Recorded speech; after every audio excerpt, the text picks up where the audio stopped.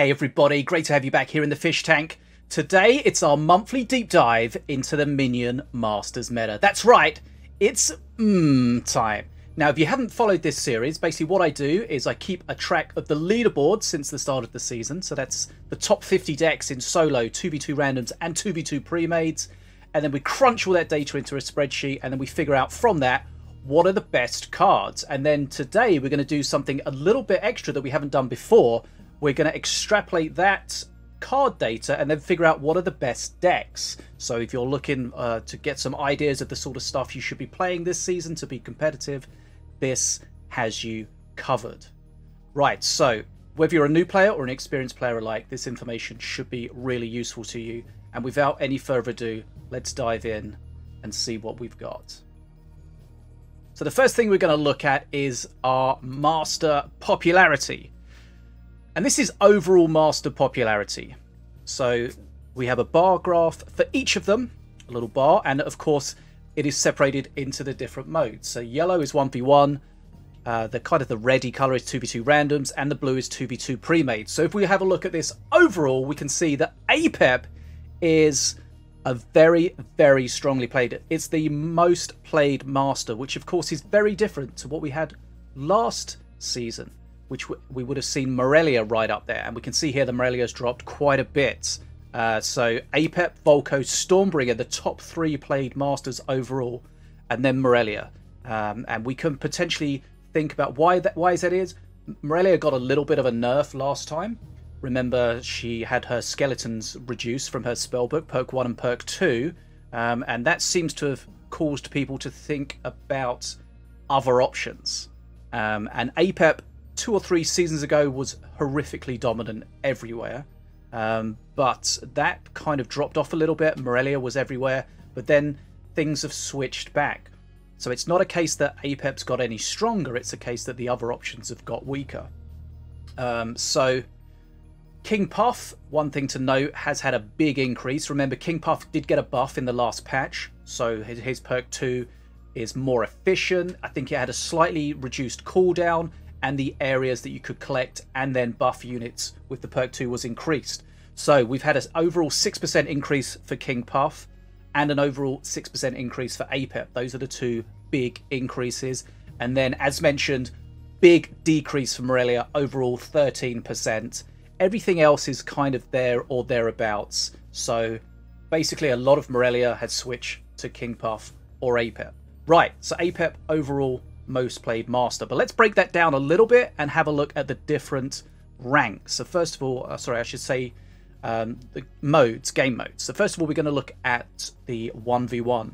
So the pie chart on the left is for last season 1.5 and the pie chart on the right for this season 1.51. So we can see, as we mentioned just now, Morellia, previously the yellow, was the most played master, but we can see she's dropped down a lot in solos. And the reverse of that again, Apep has gone from being one, two, three, four, five, the sixth played master to being the first played master. So big increases for Apep, Valorian, and Mordar, uh, and also big decreases for Morellia, Volco, and Diona. Um, if we have a look at the King Puff here, hasn't changed too much, but I think we'll see King Puff mostly be being played in twos um, compared to, to solos. So it seems like Morellia and Volco they both got nerfed, remember? We said about the Morellia nerf. Volco also had a timer nerf for the perk 1. So it seems like a lot of those players switched over to APEP.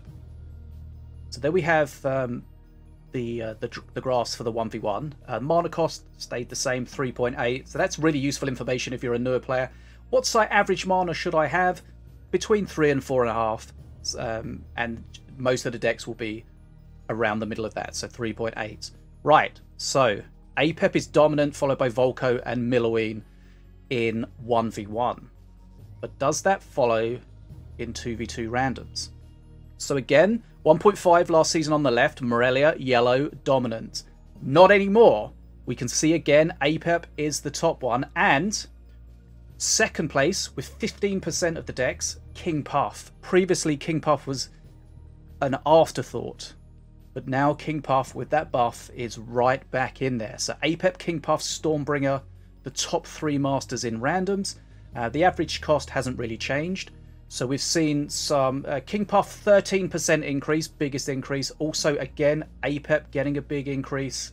Uh, and uh, the, the other side of that coin, Morellia losing 20% of the decks. And uh, Settsu dropping down as well a little bit. Remember, Settsu did get a little nerf with the um, Summoning Sickness when she lands being slightly extended, but I don't really think that changes much. And it's definitely not the balance that Settsu really needs. Uh, but Settsu's one of those awkward masters that's incredible in the hands of a good player, but kind of really not great. So it's in, in the hands of a, a lesser player, so it makes it really difficult to balance.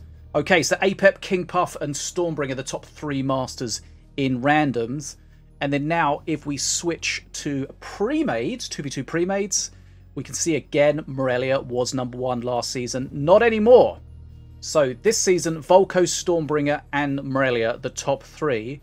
So King Puff did get a sizable increase, but it, it's still rarely played compared to the other ones. So King Puff up to 6.6%, whereas previously it was just a couple of a percent. So King Puff and Volco being played a little bit more than last season in pre-mades, but Morellia really dropping off, and also interestingly Ratbo dropping off as well. So again, the average mana cost not changing for average mana here in pre-made. So Volco, Stormbringer, Morellia, the top three masters in pre-mates.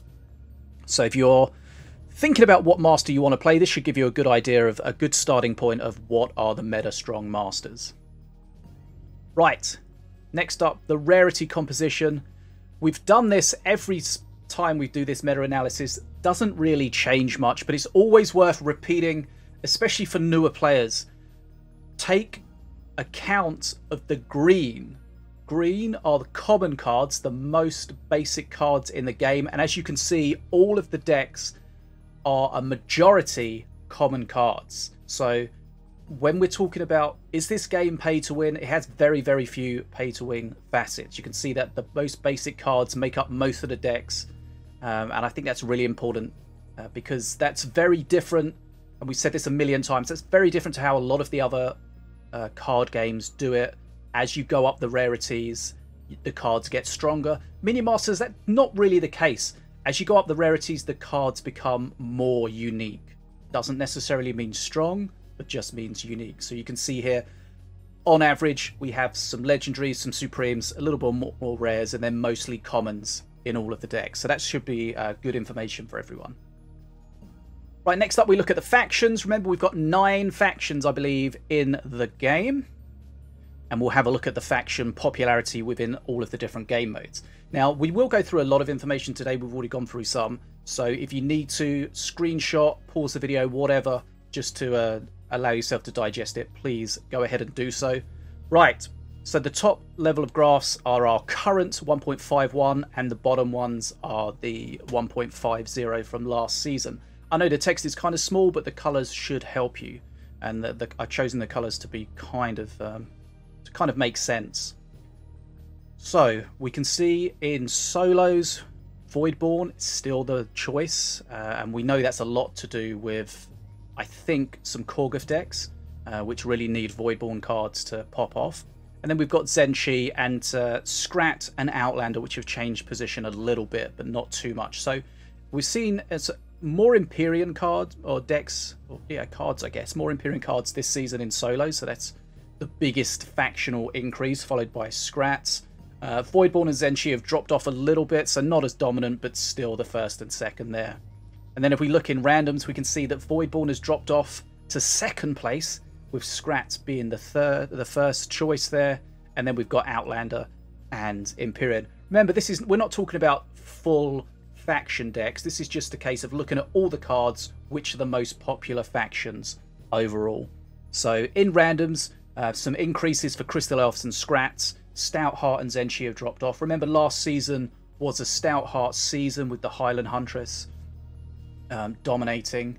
Uh, so uh, I, I think the, one of the... She's been nerfed, so going to see less of her being played, but also because it's not a Stout Heart season, we're probably going to see less Stout Heart decks just off the back of that, really. Uh, and then in pre-mades, again, Voidborn is dominant, followed by Outlander and Scrat. So they've changed around a little bit. We can see that Zen-Chi, the bright green, has gone up the most, 4%. Slither with a bit of an increase as well. Stout Hearts and Crystal Elves again dropping off. But uh, Voidborn really the dominant faction overall in the game. Right, so next up we're going to have a look at our wildcard usage. So as always we have our completely superfluous one, uh, 1v1 graph, pie chart. No wildcards in solos of course. So randoms and pre-mades. Um, slightly more use of wildcards this season in randoms overall. In pre-mades, we've seen more double wildcards, but less single wildcards. But we can see that generally, overall, most people don't use wildcards, which for me I like. A lot of people do like wildcards, and that's one of the reasons why they're still in the game. Remember, wildcards are allowing you to uh, run duplicates up to two duplicates, meaning three copies of a single card in a deck, or two copies of two cards in a deck. Um, but we, I mean me personally, I don't like wildcards. Right, and what are the most wildcarded of cards? So in randoms, we've got the Scrap Pack, the Elite Swarmer, the Lost Legionnaires, and Fergus Flagoon Fighter. And for pre-mates, again, the Lost Legionnaires, Scotty, Dragon Ball, and Radic. So what we'll probably see when we look at the cards, these will be strong cards, and of course, you know, that's people wildcard them because they're strong. And then they get extra strong. Right, so let's have a look at the cards overall. So these are the top cards overall in all three game modes. No shocker, rapid response reserves. Last season was number one. This season is also number one, but it is expected to get nerfed in the next patch, and I think the nerf is going to be the marine count goes back up to six, which was the tiny, tiny nerf it got, but the mana cost is going to go up to three. So I think that's going to really make people have to now make a decision about whether they want to include the card or not, because previously at two mana, it seems like almost a, a no-brainer. Uh, and also one of the offshoots of that is you'll no longer get it as a King Puff Perk 2 card. So we'll see next season if this changes with that. Uh, so the top cards, Rapid Response Reserves, we've got Scrap Pack, Elite Swarmer, Cleaver, and then the the first sort of damaging spell there is the Chain Lightning. Um, and just a quick note on the um, the legend here. If it's green, that means it's doing better than it was last season, uh, rank wise. If it's red, it's ranking lower. If it's black, it's the same. And if it's white, which we don't see here, then it's um, it's a new card. So interestingly, the cards from last season, um, we definitely saw them being played. I think that was the Highland Huntress, um, not so much the um, the other chap, the uh, Frostberry Bearer. Uh, the new cards for this season were Denver and the Woggosaur Pup we very, very rarely saw those. So um, overall, in my whole analysis, I only saw two copies of Denver being played and 36 copies of the Woggosaur Pup, which is very, very few. So I wouldn't expect, wouldn't be surprised to see those getting a bit of a, a buff next season. Right, so the biggest increases overall, Scrap Pack, Defenso Chopper, Resonating Blast Crystal, kind of interesting. Future Present, remember that got a buff a mana reduction last time, so that doesn't kind of surprise too much. Laylel's Vortex, we're seeing a lot more of that spell, and I think that might be because we're seeing a lot more KP, King Puff, and King Puff has a lot of Horde small units, so the Vortex is great against that. Uh, and overall, the biggest decreases, Rimmergul's Breath. Remember, the damage got nerfed from 180 to 150, um, and I think that's why we see things, people using uh, the Resonating Blast Crystal, for example, and Layla's Vortex is because they're having to move away from one damage spell and looking at using some alternatives. Uh, we've also seen some decreases to Daggerfall, Grenadier, Bounceberry Flingers, and the Warrior. So, overall, there were every single card except two featured on a leaderboard deck. Can you guess what they are? So, two cards were not used. Let me know in the comments down below, and if you're one of the first people to guess either of these, then I'll send you uh, a big dwarf pack. So, the two cards that were not used, what were they? Good luck. Right, so that's the overall cards. Let's break down the cards a little bit more and we'll look at them on in their different game modes because we know some cards are really specific to certain game modes, others are just meta across everywhere. So in solos, the top cards we're looking at the Scrap Pack, the Bounceberry Flingers, the Elite Swarmer, Cleaver. You know, these are really strong cards uh, and no real surprises that they're there. Uh, and then if we just look at the what has increased the most, the Scrap Pack had a big increase in play rate. Tantrum Throwers, Boomer, Squire Puff, and Cleaver. Cleaver was already a strong played card. We can see there it's gone up from 8th to 4th. Um, but I believe Cleaver is going to get a health nerf in the upcoming patch. So um, I think that's going to be from 600 to 550 HP. So that could change things a lot because the Cleaver is one of those cards that even if it's only got 1 HP left and it gets one huge hit off, that could be huge damage, huge damage, huge value. So if you are if you do reduce its HP, there's a lot of times, if you pay attention to how many times there's a cleaver hanging around with hardly any HP, and then if you think, well, that wouldn't happen after the patch, it'll give you an idea of the sort of impact that that sort of change can have. Uh, and then the biggest decreases in solos, Bounce Flinger, Elite Swarmer, it's still up there, but uh, not as heavily played as before. Spear Throwers, Curse Bearer, and the Sapphire Pebble. And we can look when we have a look at all of these three game modes, we can see there's a lot of cards that are very common. So we can see the Cleaver, for example, in all of them. The Elite Swarmer there, in all of them. The Scrap Pack there, in all of them. These are really staple cards that fit in almost any deck and uh, in any game mode. So if you're thinking about starting to build a deck, you can't go wrong looking at sort of any of those.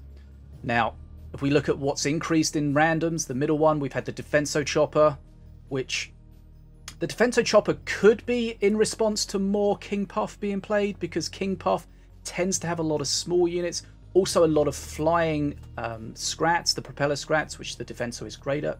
Uh, so that could potentially be that. Um, and the, the so the Defenso Chopper had the biggest increase. Propeller Horde has gone up a lot as well. So those kind of things work together there on different sides of the coin. Fergus, Crossbow Dudes, and Scrat Horde also seeing big increases in 2v2 randoms and the decreases, of course, the Walking Blind Date, Highland Huntress, remember we mentioned she got a nerf, uh, the Warrior, Cursebearer, and Vulture Prime dropping off in randoms. And then if we look at pre-mades, pre-made has seen increases to Whirly Scrat, Defenso Chopper, Scrapyard, Jinglong, and Prop Scrats, and biggest decreases in pre-mades. Cleaver, interestingly, we can see here it's dropped to second from first. Um, Crystal Arcanist, Stint, Grenadier, and Scrat Tunnels dropping off a little bit there, but still there or thereabouts a lot of those. So if you're looking to build a deck, these are great starting points, great ways to build it. So these are the top cards, but just to clarify, these are the top non-spell cards. So minions, we can see we've also got a building in there, as in the Cage Prowler. So top cards, non-spells. Uh, and then we'll look at the spells separately. So if you're trying to think about what kind of spells should I use in my deck, what are the best removal spells, uh, this should answer that for you. So again, rapid response reserves, top and still top in all three game modes. Expect that to change with the nerf. Um, and, it, you know, it is a strong card, but I think the problem with it is it's so versatile it just goes in any deck, and that's why we see it everywhere, because everyone's playing it. So we see in solos, uh, Morgrul's Mark there. Um, so, so Rapid Response Reserves is first, Morgrul's Mark is second, but Rapid Response Reserves was played almost three times as much as Morgul's Mark. So that just goes to show how dominant that Rapid Response Reserves is. So the big movers when we talk about 1v1 spells, Future Present and Future Past both got buffed in the last patch, seeing a lot more of those. Scratillery, Morgul's Mark, and Shockrock, seeing more of those. And the decreases, um, Chain Lightning, and the Chain Lightning had a big increase. We can see here it's from it's currently sixth. It was second. It's being played half as much as it was before for whatever reason. Uh, Daggerfall, Pincer of Dread have been dropping off. Interestingly, Rapid Response Reserves is amongst the biggest decreases, but it was played so much last season that even though it's dropped off a little bit this season, it's still hugely dominant. And Frost Frostfeather Flyby dropping off in there as well. Um, and one thing we can see, uh, we've got some accursed cards, which especially Um, it doesn't necessarily mean that we're seeing some accursed decks, but I think from experience we know there's some decent accursed decks out there on the solo leaderboard. Right, so in randoms, Rapid Response Reserves, Chain Lightning, Rimagal's Breath still top. Remember, Rimagal's Breath did get that substantial nerf. Uh, so the top three are the same, but they all have a reduced play rate from last season. So if people are playing less of those, it makes sense to think that they're playing more of something else. Um, and I think especially the Rimagal's Breath is the one that's had a, a biggest reduction in play rate. Um, so what are people playing instead? So notable increases in randoms. Leylayle's Vortex, we mentioned that before. Resonating Blast Crystal. Bearvalanche, Wheel of Doom, and Beam of Doom. So a lot of those are not direct replacements for Rimagal's Breath, but replacements enough, especially things like the Bearvalanche. So again, the, the reductions in randoms, Rimagal's Breath got nerfed, played half as much as it was before, but it's still the top three. It's still the third most played spell, so it's played half as much, but still in the top three. So that just shows to goes to show how much it was played last season. Daggerfall, Nirvir's Breath, we know that got a big nerf. No extra damage with the Ascension anymore. That's played as a third of it of what it was last season and Mountain Shaper. Of course, Mountain Shaper did get rebalanced. I've seen very, very, very few people playing Mountain Shaper. And then if we have a look at pre-mades, so again, it's the same kind of story. Rimagal's Breath's still there, but the play rate's gone down, so other clear spells have gone up. Again, notable increases. Resonating Blast Crystal, Blade Star, Chain Lightning, Wheel of Doom, and Future Present. Future Present's kind of weird in there because it's a very different kind of spell, but it's still a spell, so we must include it. And of course, the decreases Rimagal's Breath around 50% again of what it was before. Rapid Response Reserve. So the top cards are still being played a lot, even though they're being played less than they were. They're still dominant at the top. So again, just goes to show how much they were played last season. Right, so where do we get to? Uh, Rapid Response Reserves dropped down. Dragon Ball dropped down. Remember, it was bugged last season, so it did mm, uh, full face damage when it shouldn't. So a lot of people were playing to kind of awkwardly take advantage of that. Black Hole, that's dropped off, and I wonder if that's because of the reduction to Rimagal's Breath. Um, I, it seemed that a lot of people played it to counter the breath. Um, maybe they don't fear the other spells quite so much. Um, and Unholy Ground as well dropping off. So again, that's a potential indicator of reduced accursed decks out there. Right, so we've looked at the cards. We've looked at the spells. Now let's get a little bit more granular with the cards and have a look at the top legendaries, which is really useful if you're a new player because you're generally, as a new player, you want to get your hands on the legendaries, right? They're cool. Uh, and when it comes to crafting, you want to be able to craft things that are going to be A, strong, and be versatile. Because remember, when we talked about the rarities, legendary doesn't necessarily mean strong. It just kind of means unique. Um, and not all legendaries are equal. So if you're going to craft one, you want to be using, you want to be crafting something that's going to be strong. And depending on your kind of play style, you might be okay with just playing one deck. But uh, a lot of the legendaries are sort of really really uh, flexible and allow them to fit into many, many different kinds of decks, where others are really specific and require a whole deck uh, to be built around them. Right, so have a look at our legendaries in solo. Jin Long, that should be black instead of green. That's a mistake. Uh, but that's Jinglong's still the number one. Jolo's gone up a little bit. Scotty's gone down a little bit. We've also got Ardera, Radic, Shen. We've got the Snake Druid. We've got Kurnath, Crystalback, um, and we've also got uh, Ruby in there.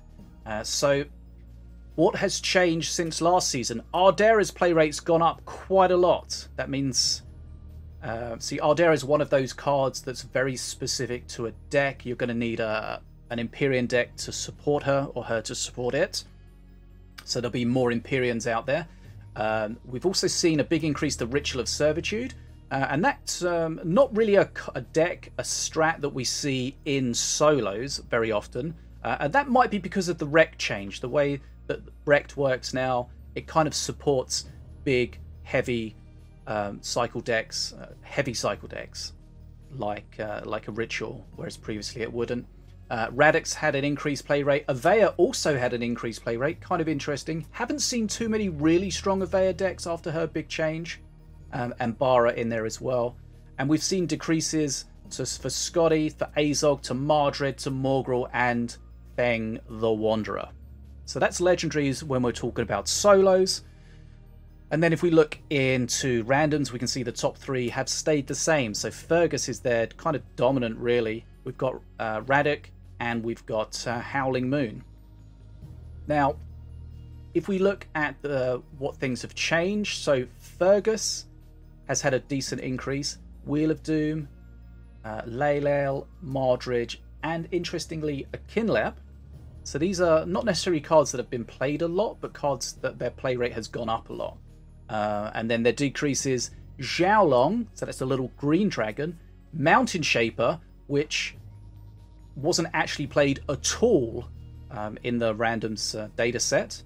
Corpse Explosion, um, Gax, and Bolf. So Corpse Explosion, again, one of those cards that gives us an idea that maybe a Cursed decks are dropping off. Uh, and then if we look at pre-mades, again, Fergus dominating. We've got Jing up there and the Zips Zapinator. Always seems to dominate in pre-mades more than randoms, I think, or it could be the other way around. I'm not sure. I can't remember what it was. Um, no, I think that's correct. So uh, the big increases for pre-mades: Jinglong, Wheel of Doom, Bara, Stormy, interestingly, and Rekinator, and decreases to Lady and Frey, to Lae'zel. Uh, that kind of suggests that maybe a drop off of people playing Stormbringer and Elves, uh, Fergus Scott, and Chizma. So those are the legendaries if you're thinking about what should I craft. So overall, Fergus Flagoon Fighter, top legendary, Jinglong second, Prime Sergeant Radic third. But we can see a lot of them that appear on all of the different game modes. So if you're if you can only craft one, um, any of those that are all over the place will be helpful, and you can play them in any sort of mode and get a lot of value out of them. So those are the top legendaries. Now what we're going to do is we're going to look at decks. We haven't done that before, so this is a little bit exciting. So from our data set, we're able to have um, basically a, a, ranking of cards, the most played cards down to the least played cards. And we kind of extrapolate the thought that the most played cards are going to be the best cards, right? Because people wouldn't play them and get onto the leaderboard if they're not. So then we're going to extrapolate that and have a look at the decks. So we, we know the decks, we know the ranking of each card, so we're going to average the rank for each of the decks, and that should give us an overall top decks. So let's uh, let's do this, and this is going to be the first month we're doing this. I had some feedback that suggested this would be a good idea, so let me know what you think of this. Is this a useful addition? So let's have a look at our solo decks first of all. So basically, I ranked the decks, the the lowest rank at the top going down, and and then I kind of picked out the masters. So we, because uh, for example, we might have had like five Morellia decks in the top five. Uh, we don't want to see all of the same decks, right? So we, these are the top five, but without repeating masters, if that makes sense. So we've got Morellia, Volco, King Puff, Apep, and Ratbo, which are probably the what we would expect. King Puff, maybe not quite so expectant based on uh, the the data that we've seen before. Uh, but of course, one of the things we can see is there's a lot of cards that again are featured in all or most of them. So we've got rapid response reserves in all of the decks, Scratillery in four of them. Uh, so that gives you an idea of what is very, very strong. So to give you an example, the top deck, the uh, rank average for all of the cards was 8.9. Um, so we've got 8.9, 13, 15.6 for the for the rest uh, to, to kind of give you an idea. So if you're looking at a strong solos deck, any of these will serve you just fine.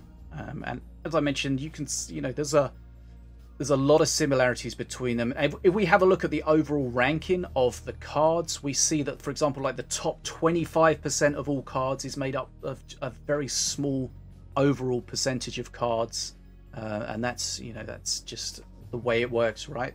people figure out what's strong and then everything else kind of just gets forgotten about.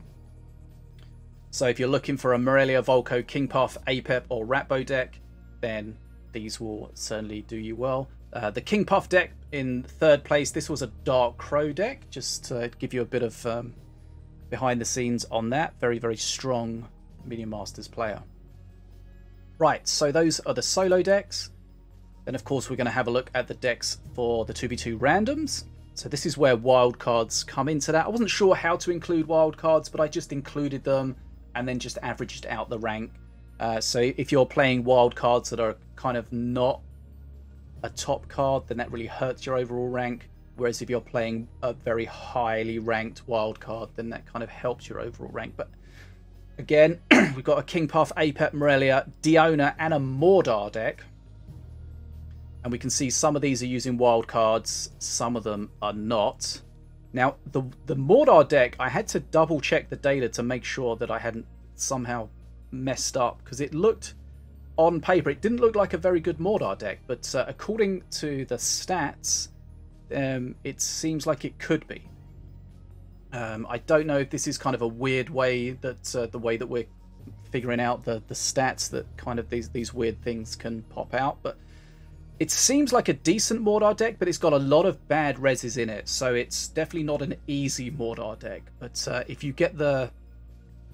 It's kind of got the cheap cycle to get to your big cards, and as long as you play your tombstones and these cards smartly, the cheaper cards, then, you know, potentially you could get some good value out of it. So that's kind of an interesting one. Um, and these are the, the, the best decks, according to the data, for uh, 2v2 randoms. And interesting to see King Puff right up there at the top. Um, and it, if we look at the cards in there, these were all very heavily played cards. And, uh, and that kind of makes sense because it's based on the most heavily played cards. Right, so that's the 2v2 randoms. And now we'll have a look at 2v2 pre-mades. So here we see Diona, Volco, Settsu, King Puff, and Morellia. Now, there was also um, an APEP version of the Diona, uh, but it seemed a little boring to just have exactly the same deck, even though most of the decks are very, very similar. Uh, perk 3 sets, sorry, perk 3. Um, rank 3, Settsu. This was another Dark Crow deck, so a deck made by a very, very skilled player. Um, and interesting here, no wildcards in any of these decks. Um, and we know that kind of overall, most people are not playing wildcards. There's a few things that feel really abusive with wildcards this season. Uh, Prime Sergeant Radic is definitely one of those. He feels very, very strong when wildcarded. Um, I don't know if he needs rebalancing or just maybe having the wildcards removed from him. Uh, but again, we can see a lot of similarities here. Uh, and it's kind of interesting to see that Rimmergall Breath in all of these, despite it getting nerfed, uh, we're still seeing a decent play rate of these. Um, and uh, Cleaver in those, in all of these as well. So a lot of similarities, uh, but also some differences. Right, so those are the decks. As I said before, if you could let me know in the comments what do you think about this deck addition and the way that we've done it. Does it make sense? Is it useful? And crucially, is there any way that we could um, make it better? Because one thing I've noticed thinking about it is we this is simply based on play rate. We don't take into account the rank of the decks within the, the 50 top decks on the leaderboard. Um, so I wonder if we could do that, um, and if that we could take that into account, and if that would make anything more useful coming out at the other end. Right, so that's the end of our mmm session, Minion Masters Meta. I hope you did enjoy it. There's a, a lot of information that's been crunched, and hopefully this is really useful to you. As always, let me know in the comments what did you think of this? Has it been helpful to you, whether you're a new player or an experienced player? And as I mentioned before, two cards were not played at all. What were they? Put them down in the comments. If you're one of the first people to guess one of those two cards, then I shall send you a little Minion Masters gift. Um, and of course, if you're new here and uh, you want to keep up to date with Minion Masters content, please feel free to hit that subscribe button. It really does put a little smile on the fishy face. And of course, if you enjoyed the video, make sure you give it a thumbs up. And I think that's pretty much all I wanted to cover today. So, um, yeah, I'll see you on the battlefield soon. Just a quick reminder that this season is going to be a long season. So I think what we're going to end up having is we're probably going to have like a, a, a, balance patch when we would expect the next patch, uh, but it, there's going to be no new content, so it'll be simply a balance patch. Uh, and then hopefully in December we'll have Minion Masters 2.0, which is uh, very exciting, exciting to get our hands on. And as a reminder, Netflix Gaming, Minion Masters Mobile, iOS, and Android, that should be coming early in 2024, which, you know, don't worry, that might sound like a long time, but it's not very far away. So things are looking very exciting for Minion Masters. I'm excited. Hopefully you are too. Um, and as always, I'm bad as a fish, and I'm awkwardly waving.